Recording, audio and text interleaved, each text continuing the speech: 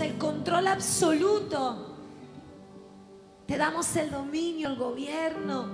Te decimos, papá, que estamos hambrientos, estamos desesperados y necesitamos un encuentro personal con vos. Necesitamos sentirte, que nos marques, que nos selles con tu fuego en esta noche. Oro por cada joven, cada adolescente, cada padre, cada hijo tuyo que está en este lugar. Y declaro una noche de consagración, una noche de volvernos a ti, de volvernos al centro de la adoración que es Cristo. Y en el nombre de Jesús echamos fuera todo cansancio, toda distracción, toda preocupación y toda culpa que el enemigo se atreva a tirarnos en contra. Porque esta es una noche para encontrarnos con nuestro Padre. Y nada va a impedir que los hijos hoy se encuentren con su Padre Celestial. Te amamos, papito, te adoramos. Y te damos esta ofrenda de aplauso a ti, Jesús. Solamente a ti, Señor.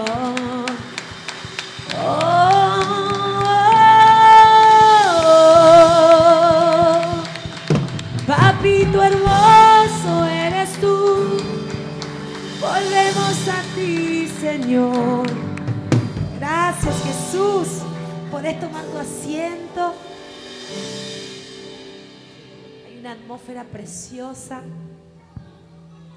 Mi nombre es Sandra, soy argentina. Hace desde el jueves que estamos con mi esposo en su hermoso país. Este es nuestro primer viaje a Chile y estamos felices, contentos, agradecidos a Dios por poder disfrutar de este tiempo.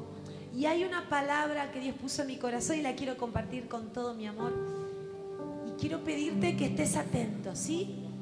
Que nada te distraiga, que haya el menor movimiento posible y que, y que puedas estar abierto a lo que el Espíritu quiera hacer. Desde que entré, sentí en mi corazón el amor de Dios por ustedes. Cuánto los ama, cuánto los ama.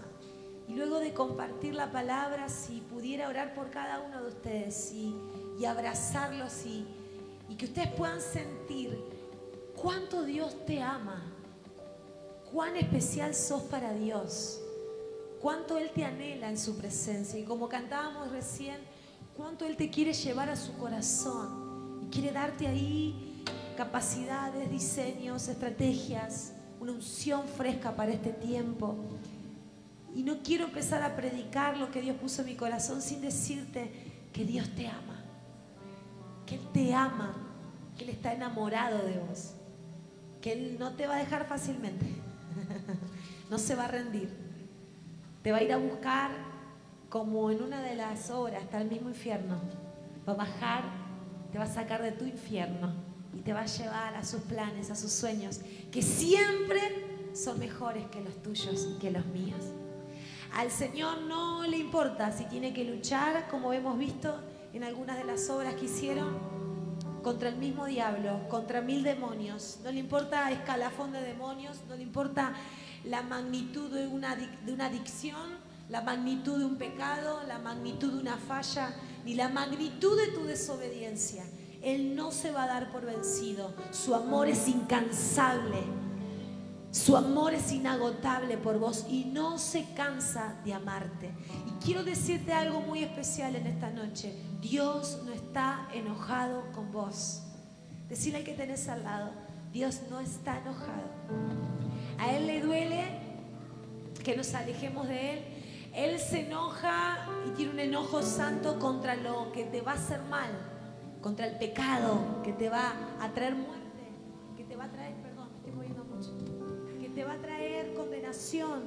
Él tiene, Él se enoja contra aquello que viene a dilapidar y a postergar tus sueños. Él se enoja contra Satanás porque continuamente te está distrayendo y te está desenfocando de sus sueños. Él se enoja contra eh, el sistema que te absorbe, que te llama la atención tanto que muchas veces te olvidas que fuiste creado para adorar a un solo Dios, a uno solo, porque Él es digno de ser adorado. Él se enoja contra aquello que te daña y contra aquello que trae muerte, pero Él no está enojado con vos. Él te ama. Y si tiene que bajar a las profundidades en las que estás, si tiene que bajar al fango y embarrarse, lo va a hacer porque sos su hijo, porque sos su hija, porque sos propiedad privada de Él. Y Él no se avergüenza de vos, no se avergüenza. Amén. Amén. Vamos a Mateo, al primer, primer evangelio del libro de San Mateo, capítulo 4.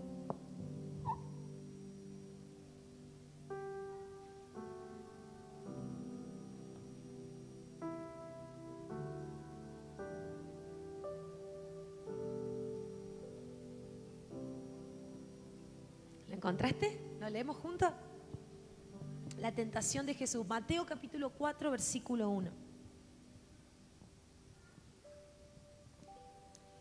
Dice, entonces Jesús fue llevado por el Espíritu al desierto para ser tentado por el diablo.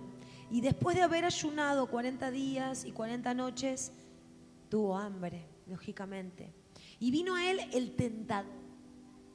Decí conmigo, el tentador. Vino él el tentador y le dijo, si eres hijo de Dios, ay, gracias. Si eres hijo de Dios, decilo bien fuerte conmigo. Si eres hijo de Dios, di eso, decilo fuerte. Si eres hijo de Dios, no si crees, si te sentís, si eres hijo de Dios, di estas piedras que se convierten en pan. Y Jesús respondió, escrito está, no solo de pan vivirá el hombre, sino de toda palabra que sale de la boca de Dios. Entonces el diablo le llevó a la santa ciudad y le puso sobre el pináculo del templo y le dijo, si eres hijo de Dios, decilo conmigo fuerte, si eres hijo de Dios, échate abajo, porque escrito está, y a sus ángeles mandará acerca de ti, y en sus manos te sostendrá para que no tropieces con tu pie en piedra. Versículo 7. Jesús le dijo, escrito está también, no tentarás al Señor tu Dios. Versículo 8. Otra vez, otra vez, le llevó el diablo a un monte muy alto y le mostró todos los reinos del mundo y la gloria de ellos. Y le dijo, todo esto te daré si postrado me adorares. Quiero que que dejemos este capítulo aquí y quiero que hablemos un ratito, unos minutos sobre esto. Jesús estaba empezando su ministerio y él fue llevado por el Espíritu. Pero la tentación no vino cuando él empezó el ayuno. La Biblia nos dice cuando él está, cuando ya hacía 40 días que estaba ayunando y que estaba orando, que no estaba comiendo y no estaba bebiendo vino el tentador y vino con una pregunta. Vino a decirle, ¿cómo le dijo? Ahora con un poquito más de fuerza, de vuelta. ¿Cómo le dijo? Claro, no vino el diablo y dijo, si eres el hijo de Dios. No, vino y le dijo, si vos sos el hijo de Dios, convertí esa piedrita en pan y sacate el hambre que tenés. Y Jesús le dijo, no, no, no, escrito está, no solo de pan vivirá el hombre. Escrito está, Jesús conocía la voluntad de Dios. ¿Sabes cuándo somos eh, pan comido para el diablo? Cuando no sabemos quiénes somos. ¿Y de qué manera nosotros vamos a conocer nuestra identidad y quiénes somos en Dios? Escudriñando la palabra, conociendo su palabra. Es la única manera de conocer quiénes somos lo que Dios piensa de mí, lo que Dios piensa de vos. Entonces el diablo vino al comienzo del ministerio de Jesús. Bien, vino a interrumpir un comienzo. Pero también vino cuando Jesús estaba a punto de concluir su preparación. Porque Él fue al desierto a prepararse, a nutrirse de la presencia de Dios y a capacitarse en el Espíritu para poder tener luego tres años de ministerio incansable e interrumpido. Y no solo porque iba a tener tres años de ministerio. Jesús fue a prepararse para poder morir en la cruz por vos y por mí. Él fue a prepararse para morir. Entonces, no es casualidad que en esta edad en la que tenés, en la que te estás empezando a preparar, estás empezando el secundario, o estás a mitad del secundario, algunos de ustedes ya empezaron la facultad, o están por terminar la secundaria para empezar la facultad. No es casualidad que en este tiempo que Dios te llama, que empezaste a tocar un instrumento, o que empezaste a actuar, que empezaste a trabajar con, la, con multimedia, con arte en la iglesia, y te estás dando cuenta que hay cosas dentro tuyo que pueden ser usadas para la gloria de Dios. Bueno, no es casualidad que en este momento venga el tentador a preguntarte, ¿estás seguro que sos hijo de Dios? ¿Estás seguro que sos hijo de Dios? Y sabes una cosa, cuando vamos a la, tercera ocasión en que el diablo lo tienta a Jesús, versículo 8 dice, otra vez le llevó el diablo a un monte muy alto y le mostró todos los reinos del mundo. O sea, no lo convenció de que comiera pan, no lo convenció de que hiciera una locura, que se tirara de un pináculo para que venga un ángel y lo lleve volando. Eh, el diablo, ustedes dirán, pero qué fantasioso que es el enemigo. ¿Cómo le va a decir a Jesús que se tire? Es una pavada. Mira si Jesús iba a tirar. Es medio loco lo que el diablo le dijo. Tirate Jesús, va a venir un angelito y te va a agarrar y te va a llevar. Y uno dice, pero qué locura. Sin embargo, a nosotros nos pasan cosas así. Muchas veces nos tiramos de pináculos y no viene ningún angelito. Nos hacemos triza contra el piso. Nunca te dijeron, es una locura lo que estás haciendo. Y vos lo sentías en tu espíritu, que no te iba a bendecir, que no, que no lo hicieras, que, no era bueno, que no te iba a ir bien, pero fue más fuerte tu tentación, fue más fuerte tu deseo de tirarte y te tiraste, como decimos en Argentina, a la pileta. Pero la pileta estaba vacía. O piscina, como dicen ustedes. ¿Nunca te pasó? Entonces, no es tan fantasioso que el diablo le haya hecho todo un, mundo imaginario a Jesús y le dijo, mira Jesús, si vos te tirabas, ven un angelito, te va a llevar y te vas a salvar. ¿Sabes qué? Al diablo le fascina jugar con tu imaginación. Porque Jesús tuvo que imaginarse tirándose del pináculo, porque Jesús era de carne y hueso, ¿sí? Él estaba fortalecido en el espíritu, él era Dios hecho carne, pero era de carne y hueso como nosotros. O sea que Jesús tenía imaginación, él tenía creatividad, él tenía forma de diseñar cosas. De hecho, él era un artista, era carpintero. Y ustedes saben que ser carpintero en esa época es como ser un ingeniero ahora, es como ser un arquitecto, es como eh, ser realmente un, un, artista plástico, un, artista, un diseñador. Había mucha creatividad en Jesús y el diablo lo sabía. Jesús no era una persona que vivía eh, eh, sentadito orando, buscando a Dios y su mamá le, hacía todas las cosas. Él desarrolló un oficio, él era carpintero y tenía mucha creatividad. ¿Ustedes se imaginan a Jesús haciendo una mesa toda chueca? No. Yo me imagino a Jesús haciendo los mejores muebles de su época, los mejores diseños, porque era el Hijo de Dios. Entonces, no es cualquier cosa que el diablo venga y le diga, Jesús, haz esta locura, tírate del pináculo, porque hay un versículo en el Antiguo Testamento que dice, tus ángeles mandará delante de ti para que tu pie no tropiece.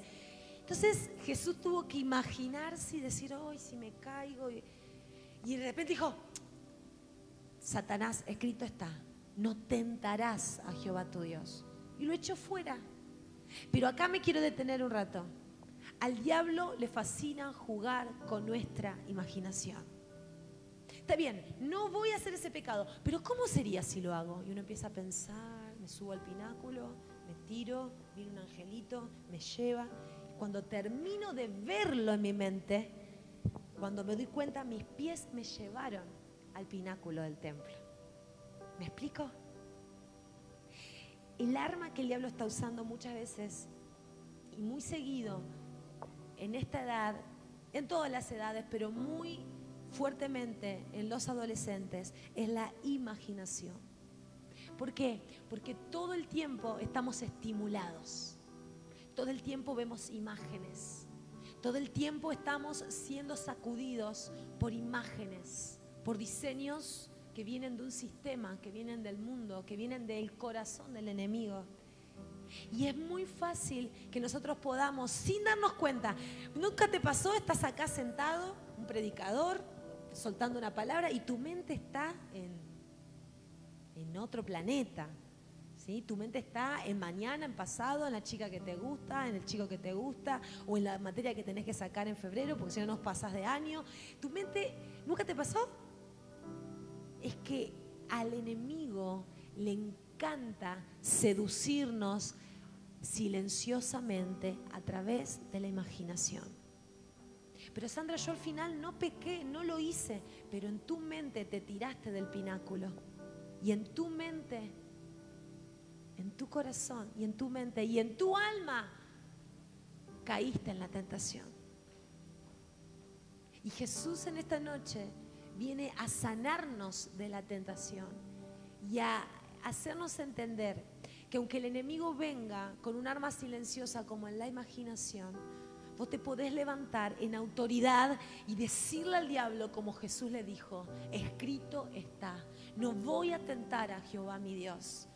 Si no voy a pecar, de hecho, tampoco voy a pecar en mi pensamiento. Y voy a guardar mi creatividad y mi, imaginación para hacer cosas como las que vimos recién. O a, quién se le, o alguien se le tuvo que ocurrir hacer este diseño.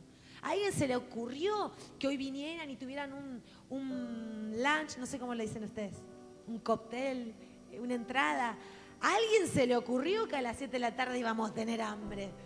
O sea que hubo una mente que pensó en eso. ¿A alguien se le ocurrió eh, la canción que escuchamos de Tercer Cielo? Las otras no las identifiqué de quiénes eran alguien se le ocurrió que una canción así podía tener un impacto evangelístico tremendo?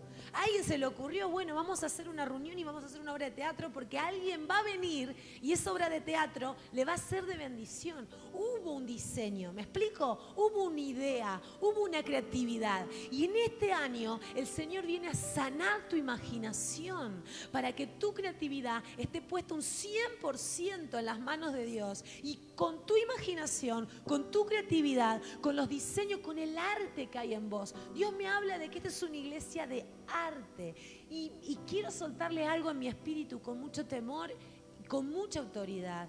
Decirles que quizás, tal vez, hasta sean criticados por la creatividad y por romper moldes y estructuras, porque Dios los lleva realmente a otro nivel.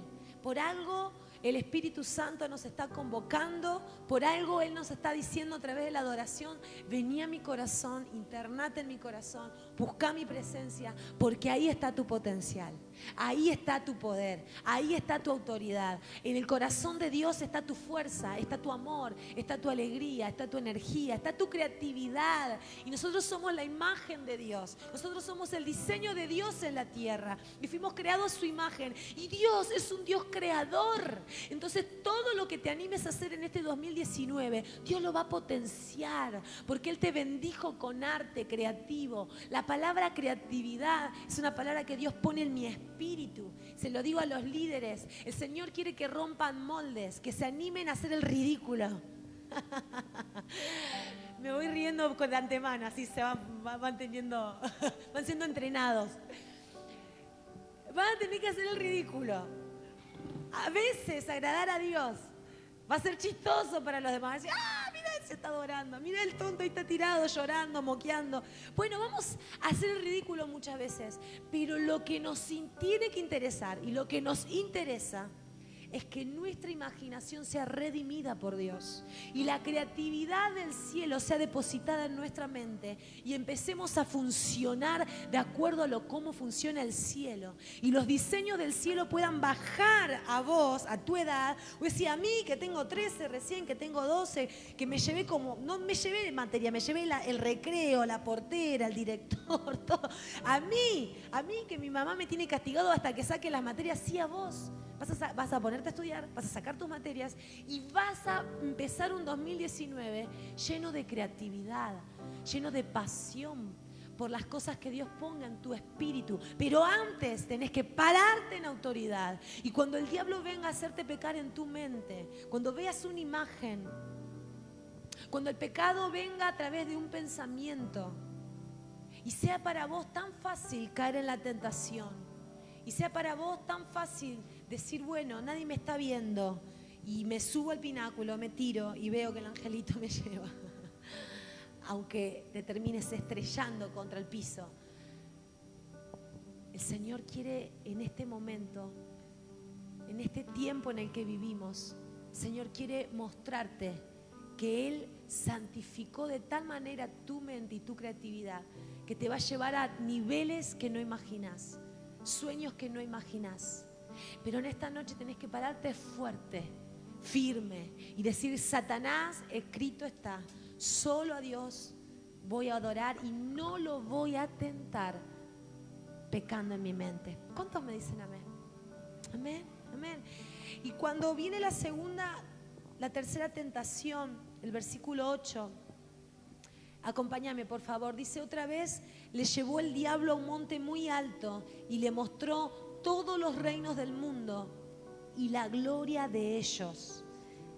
El diablo lo trató de seducir a Dios, mostrándole todos los reinos.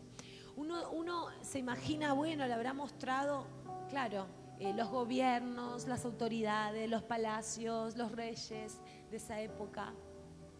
¿Se qué manera viene el enemigo hoy a mostrarnos los reinos del mundo y la gloria de ellos? ¿Sabe de qué manera? A través de un aparatito llamado celular. De esa manera, el diablo todos los días te muestra el reino del mundo y la gloria de ellos. A través de Instagram, a través de Facebook, a través de Twitter, a través de Snapchat, a través de, eh, de WhatsApp, a través de juegos de, juegos online, juegos que empiezan como un juego y después terminan siendo una obsesión. Se hizo de noche y no te diste cuenta que hacía 500 horas que ni siquiera habías tomado agua, no habías comido por estar jugando ahí con tu jueguito. El diablo constantemente les pasó así esas caritas de picarones porque les pasó. El diablo continuamente. Y esta palabra, chicos, antes que nada, esta palabra que Dios puso en mi corazón no viene a juzgarnos, viene a hacernos libres, amén. Así que quiero que sepas que así como Dios te está hablando a vos, Dios me habló a mí también me hizo libre a mí. Y por eso puedo impartirte la libertad que disfruto, ¿sí? Y que si estás siendo tentado y que si estás pecando en tu mente, yo te entiendo, porque yo también pequé en mi mente. Yo también fallé al Señor. Y Él me limpió, me perdonó y me dio una nueva autoridad de hija. Y quiero ayudarte en esta tarde a que puedas enfocarte en el diseño exclusivo que Dios tiene para tu vida. Todos los días el enemigo nos está mostrando la gloria de estos reinos a través de imágenes, a través de la tele, a través de programas de televisión, a través de la música, a través de la moda, a través de la información descomunal que recibimos continuamente. Es que es un, es un bombardeo continuo la cantidad de imágenes que uno por día recibe a través del celular, a través de ver la tele, a través de cualquier aparato que nos conecte con el Internet, que nos conecte con, con, el, con, el espacio, con aquello que para nosotros si lo usamos sabiamente puede ser una bendición. Si yo no tengo nada en contra de ninguna de las redes sociales. No es pecado tener redes sociales. Lo que es pecado es que te enamores de la gloria de los reinos de este mundo y que dejes a Dios, el único Dios, el único que puede saciarte, el único que puede llenarte. Y quiero que me acompañes a un capítulo de la Biblia, al libro de Éxodo, porque, ¿sabes? No solo Jesús fue tentado con los reinos de, de este mundo, claro que Él venció quiero simplemente contarte un versículo y luego quiero concluir. Yo soy Jehová tu Dios, que te saqué de la tierra de Egipto, de casa de servidumbre. No tendrás dioses ajenos delante de mí. No te harás imagen ni ninguna semejanza de lo que esté arriba en el cielo, ni abajo en la tierra, ni en las aguas debajo de la tierra. No te inclinarás a ellas, ni las honrarás, porque yo soy Jehová tu Dios, fuerte y celoso. El Señor le estaba dando un diseño al pueblo de Israel y les estaba aconsejando a que no tengan otros dioses. Y nosotros, cuando leemos un versículo como este, decimos, bueno, quizás eh, el pueblo de Israel estaba viviendo como, como pobre, ahora viven los católicos que tienen sus vírgenes, sus santos, sus ídolos, o pobre la gente que le reza a un ídolo o a un, o a un, a un santo, porque no cree que Dios es poderoso y que esa cosa que está ahí es un pedazo de madera, de yeso, y uno puede, ¿nunca te pasó eso? ¿Nunca tuviste una amiga en la, escuela, un amigo que se llevaba la estampita de la Virgen cada vez que tenía un examen? Y vos decís, pobrecita, le está orando un pedazo de papel, yo le oro a Dios. Bueno, pero primero tengo que estudiar, ¿no? Después le oro a Dios y Él me ayuda, me da paz, me da tranquilidad. Y uno dice, pobre, qué feo esa gente. Algún día va a conocer a Dios de verdad. ¿Y no te pasó alguna vez que sentiste eso? Yo lo, yo lo sentí. Yo dije, ay, pero qué salame, ¿qué hace orando? a un pedazo de yeso. toda mi secundaria tuve una compañera de mis mejores amigas, eh, taiwanesa. Eh, cuando empezamos primer año de la secundaria, eh, hacía dos semanas que había llegado a Taiwán. No entendía, chico, ni papa en castellano, no entendía nada. Sacaba todo 10 en matemática y yo le ayudaba un poco en lengua y nos hicimos amigas y ella era budista y adoraba budas de una manera descomunal y cinco años predicándole de Cristo. A lo último hice la oración, casi terminando la secundaria. Y la verdad que muchas veces yo dije, pobrecita. Eh, nos hacía, cuando yo iba a hacer la tarea a su casa, me hacía sacar los zapatos. Yo me cubría con la sangre de Cristo porque veía el budita ahí. Chen se llamaba, se llama porque no murió. Chen, le digo, yo no te quiero faltar respeto, me saco los zapatos, pero a mí no me agarro de ese gordito porque yo no creo. Bueno, bueno, está bien, Sandrita, por todo así con todo así. Bueno, está bien, Sandrita. Y yo entraba por otro pasillo, se sentaba, pobrecita, y le oraba al Buda. Yo decía, ay, pero pobre. Además de la cantidad de demonios que había detrás de, de, ese, de ese Buda, bueno, es otro, otro asunto.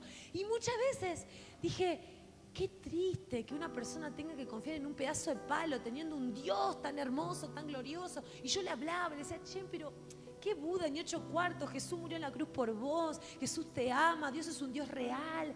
Quiero que lo conozca y que esto y que el otro. Y bueno, y en estos días cuando el Señor me hablaba de este versículo, me acordé mucho de Chen y de muchos amigos y compañeros y, gente que conoce eh, a, a oídas a Dios muy de lejos y tiene su virgencita y uno dice, ay pobre, qué lástima. Pero la verdad es que el Señor me hizo ver algo y quiero compartírselos. Quiero hablarles de cuando Dios dice, no te harás, no tendrás dioses ajenos, no te harás imagen ni ninguna semejanza. Entonces yo empecé a ver en, nuestras vidas cómo no tenemos ninguna virgencita de satanudo, ni ningún gauchito Gil, no sé qué, santos, no quiero faltar respeto tampoco, pero no sé qué santos están de moda acá en Chile, pero allá hay unos cuantos que están ahí en el top five de los santos. Y, uno dice, ay, pobre, la gente que cree en esos santos. Y el Señor empezó a mostrarme, Sandra, ustedes son mis hijos. Sí, Señor, somos tus hijos. Yo los amo, son creación mía. Sí, Señor, somos creación tuya. Vos nos amás. Y ustedes tienen dioses. ¿Cómo que tenemos dioses? Si vos sos nuestro Dios. Si si vos sos el único Dios al que adoramos, no puede ser que tengamos dioses. Y el Señor me empezó a decir, Sandra, las redes sociales en este tiempo son dioses. Es un Dios al cual continuamente adorar. Adorás. ¿Cómo, Señor? Yo te adoro a vos nada más. ¿Cómo voy a estar adorando a, a las redes? Sandra, ¿cuánto tiempo estuviste viendo Instagram? Saqué la cuenta. ¿Cuánto tiempo estuviste adorándome? Saqué la cuenta y me di cuenta de que había una desproporción, una desproporción. Había un desorden en mi adoración. Saca la cuenta cuántas horas estás frente a la televisión o frente a tu celular, cuántas horas estás chateando con tu novio, ¿Cuántas horas está ahí en un chat eh, de oración? ¿Cuántas horas estás ahí pendiente de un juego, pendiente de, de cualquier red social, de cualquier aparato tecnológico? ¿Cuántas horas nos aislamos del mundo, de la familia, de los amigos? Pero lo más grave, chicos, ¿cuántas horas dejamos de adorar al único Dios, al verdadero Dios? Y sin darnos cuenta, muchas veces nuestras redes sociales son pequeños santitos, pequeños dioses que están ocupando un lugar en nuestro corazón. Entonces Dios le da un consejo al pueblo de Israel. No tendrás dioses ajenos delante de mí.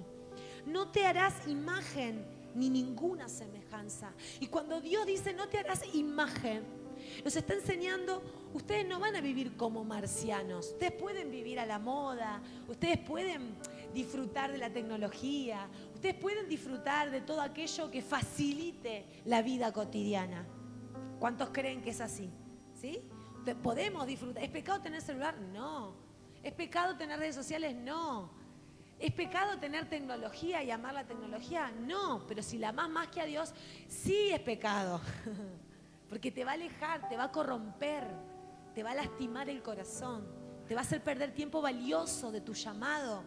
Entonces, es pecado que amemos o que, o que tengamos tecnología, imágenes continuamente de, de las redes. Y si te va a alejar de Dios, sí porque va a pervertirte. ¿Sabes qué le dijo Dios al pueblo de Israel? No tengas dioses del pueblo de Canaán, porque ellos te van a hacer pecar contra mí. Esos dioses te van a alejar de mí, te van a hacer entristecer y van a lastimar mi corazón. Entonces, cuando Dios le dice al pueblo de Israel, no tendrás otro Dios, no tendrás a otros dioses y no te, no te harás semejanza, no te harás imagen de nada, es porque también nosotros en esta época muchas veces somos impactados por la imagen de otra persona. ¿O no te pasó que ves una, ves una marca y la querés? ¿No te pasó que ves una, lo, último que salió en tecnología y lo querés? ¿Por qué? Porque es una imagen constantemente te, te afecta, constantemente visita tu mente, constantemente eh, viene con un recuerdo visual y llega un momento que lo querés, que lo codiciás, que lo anhelás. ¿Sí me explico? Hay cosas que en este tiempo nos están alejando de Dios.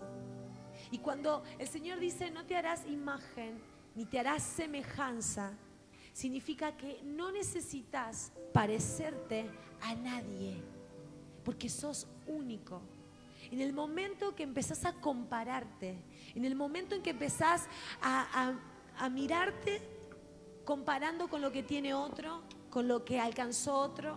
En el momento que empezás a querer ser como alguien que no sea Dios, estás tomando una semejanza. Y ¿sabes?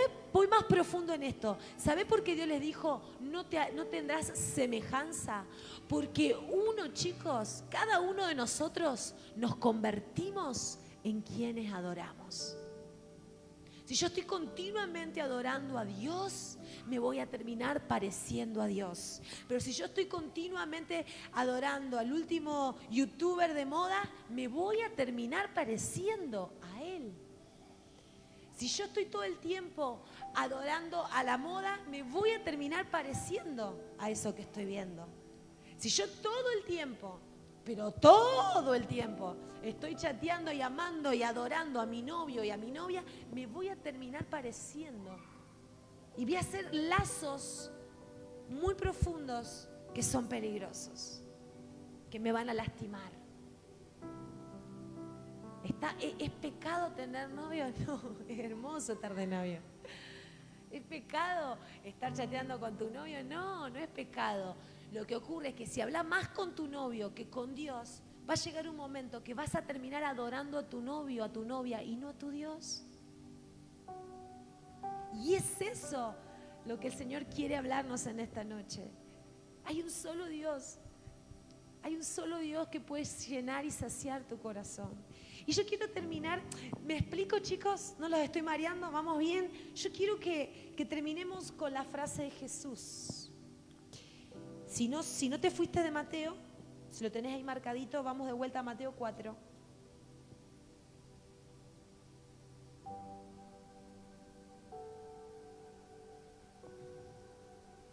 Vamos a leer de vuelta el versículo 8. Y dice, otra vez le llevó al, el diablo a un monte muy alto y le mostró todos los reinos del mundo y la gloria de ellos. Y le dijo, todo esto te daré si postrado me adoras. Todo lo que el sistema te muestra, todo lo que el diablo te muestra a través de las redes, es para que termines adorando al diablo. Para que termines postrándote ante él. ¿Sabes por qué? Porque al diablo no le molesta si nosotros adoramos a Dios aquí en la iglesia. Al diablo no le molesta si nosotros determinamos ser fieles a Dios. El caviar del enemigo, el dulce más rico del diablo, es ver que... ¿Me prestas? ¿Puedo agarrar este celular? ¿Sabes cuál es la imagen favorita del diablo? Esta. Y si sos chicata como yo, así. Entonces yo estoy así todo el día y voy a terminar adorando un aparato.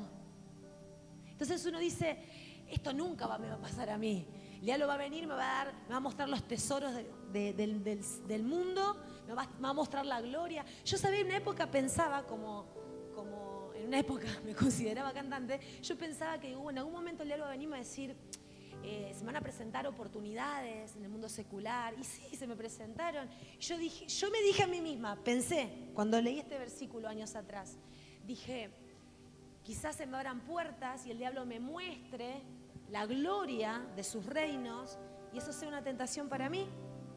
Y en algún momento, cuando estaba en mi facultad de música, sí, se presentaron oportunidades que no me interesaron, porque mi corazón estaba firmado en Dios y me sentía orgullosísima de eso. no sabés lo santa que me sentía. Cuando venía un compañero y me dice, Sandra, no me quiero hacer los coros, que voy a cantar en el... Allá hay eh, uno de los, de los teatros más lindos de Rosario, es el Teatro Círculo. Y una vez vino una amiga que estaba cursando conmigo, me dice, Sandrita, tu voz tan hermosa, ¿no me querías hacer unos coros? Mirá que vamos a estar en el Teatro de Círculo, nos van a ver 5.000 personas, o no sé cuántas entrarán. Pero no sabés qué lindo que va a ser. Y yo le dije así con amor, con dulzura, pero con un orgullo santo, te pido mil disculpas, pero yo solo adoro a Jehová. te pido perdón, pero mi voz es solo para adorar a Él, te pido perdón porque no me voy a sentir cómoda. Bueno, está bien, qué mala onda que sos. Bueno, y yo me fui como sintiéndome la adoradora más gloriosa y más santa y yo dije, el diablo salió avergonzado. Sin embargo, muchas veces me incliné ante una red social, me incliné ante una novela, me incliné ante la moda, me incliné ante la imagen que el mundo me ofrece me incliné ante la vanidad que el mundo me ofrece. Y sin darme cuenta, terminé postrándome ante la gloria del reino del mundo. El mayor placer del diablo es verme postrada ante un aparato. Pero en esta noche, yo quiero que podamos ver lo que Jesús dijo, de versículo 9. El diablo le dice en el versículo 9, y le dijo, todo esto te daré, te lo voy a dar. Ahí entró la codicia, todo esto te lo voy a dar, va a ser tuyo si postrado me adorares. Pero el versículo 10 dice, entonces Jesús le dijo, vete Satanás, porque escrito está, al Señor tu Dios adorarás y a Él solo le servirás. Y el diablo huyó de él. Cuando hay una determinación en tu corazón de poner a Cristo en primer lugar, cuando hay una determinación en tu espíritu de amar la presencia de Dios más que cualquier cosa, el diablo no, le va, no va a tener otro camino que huir de tu vida, que huir de tus planes, que huir de tus proyectos, que huir de tus sueños, que huir de tu corazón, que huir de tu mente. Por eso en esta noche mi pregunta es, ¿podremos traer al altar a nuestros dioses? Pues sí, Señor, Qué feo que suena esto. Si sos el único Dios, yo tengo otros dioses. La Biblia me dice que sí. Que todo lo que se lleva a la gloria de Dios termina siendo un Dios en mi corazón. ¿Y se ve por qué es un Dios en tu corazón? Porque te gobierna. Porque si vos no podés gobernarlo y te gobierna vos, es tu Dios. Ahora, si vos tenés el celular, lo usás, chateás un rato, pispia un poquito las redes, dejá de stalkear cosas que no te van a bendecir. Y bueno, y esta, y no, esta persona no la voy a seguir, me va a terminar contaminando, bueno, la dejo. Y, bueno, hablo un ratito con tus hermanos, con tus amigos, chipupum, la dejas y luego venís a tu fuente. Que ahora vienen muy hermosas, miren la, hermosura de la mía, rosa, princesa. Algunas son negras, no son muy atractivas. No tienen mucho diseño como un iPad, no tiene eh, muchas, muchas aplicaciones como el último iPhone pero cielo, tierra pasará, mas esto jamás. Esto es el camino. Esto es lo que alumbra tus pies. Esto es lo que limpia tu camino. Esto es el centro de tu adoración. Se llama Biblia. Y a partir de hoy, si querés, podés empezar a adorarla, podés empezar a anhelarla, podés empezar a, a, desear lo que Dios dice, lo que Dios dijo que va a hacer con vos. Y en esta Biblia en este libro está escrito lo que vos sos. Vos no sos cualquier cosa. Vos sos especial tesoro. Vos sos un reino de sacerdotes. El Señor te amó por encima de todas las personas de este mundo. Y si hubiese hecho falta que vaya a la cruz por vos sola, por vos solo, Él lo hubiese hecho porque te ama. Él te ama, Él te anhela y vos sos propiedad privada de Él. Él pagó un precio, un precio de cruz, un precio de derramamiento de sangre sufrió el desprecio más grande que cualquier ser humano podía expresar. Eh, expresar. Él cargó tu vergüenza. Él cargó a mi vergüenza y cargó a nuestros dioses en la cruz. Y si en esta noche, si en esta noche hay culpa en tu corazón, hay condenación. Y te estás dando cuenta que estás perdiendo el eje, que estás perdiendo el tiempo, que estás adorando a dioses ajenos, que te estás haciendo a la imagen de este mundo, que estás teniendo semejanza a este mundo, que estás admirando a personas que pueden ser buenas pero que no son Dios que no dieron su vida en la cruz como Cristo. Eh, a lo mejor estás siguiendo un modelo, un diseño, que no es que sea malo, pero no es el sueño de Dios para tu vida. Si hoy te sentís de esa manera, yo quiero decirte que esta es la noche en que el Espíritu Santo vuelve a hacer todas las cosas de nuevo. Cuando Jesús dijo, vete Satanás. Vete de aquí. El diablo huyó. ¿Saben por qué? Porque no le quedó dudas de que Jesús era el Hijo de Dios. Era el Hijo de Dios. Vos no pareces un cristiano, vos sos cristiano. Vos no pareces una hija de Dios, vos sos una hija de Dios. Vos sos un hijo de Dios.